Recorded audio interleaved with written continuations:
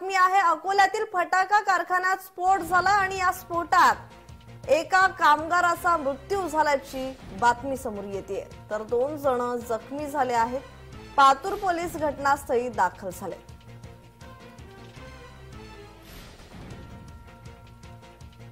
तर अकोल्यातील फटाका कारखान्यात स्फोट झालाय आणि या स्फोटात एका कामगाराचा मृत्यू झाल्याची माहिती समोर आहे. तर दोन जण जखमी आहेत. पातूर पोलीस घटनास्थळी दाखल झाले.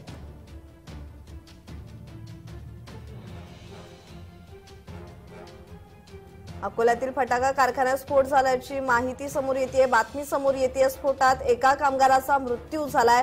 तर दोन जण जखमी झालेले आहेत. पातूर पोलीस घटनास्थळी दाखल झाले. अकोला जिल्ह्यातील पातूर तालुक्यातल्या बेलुरा ते तांदळी फाट्यावरील फटाका कारखान्यामध्ये स्फोट झाल्याची घटना घडली आहे. तर या संदर्भात माहिती देण्यासाठी आमच्या प्रतिनिधी वर्षा मोरे या फोनद्वारे जोडल्या गेलेल्या आहेत. वर्षा काय सांगाल? अकोल्यातील फटाका कारखाना स्फोट झालाय आणि या स्फोटात एकाचा मृत्यू झाल्याची बातमी समोर येते. या संदर्भात ताजा तपशील. सध्या अकोला जिल्ह्यातील पातूर तालुक्यामध्ये जे बेलूर हे गाव आहे हा. त्यामध्ये आज सकाळी अकराच्या दरम्यान स्फोट झालाय.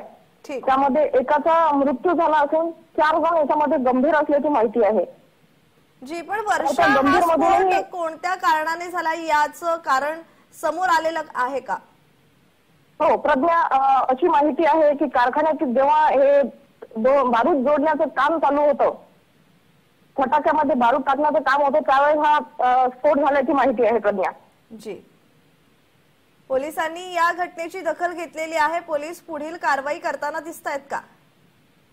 हो घटनास्थळावरही पोलीस पोलीस पोहोचलेले आहेत. त्यांचा कशामुळे स्फोट झाला आहे या कारणाचा शोध पोलीस घेत आहेत प्रज्ञा. धन्यवाद वर्षा तुम्ही दिलेल्या माहितीबद्दल.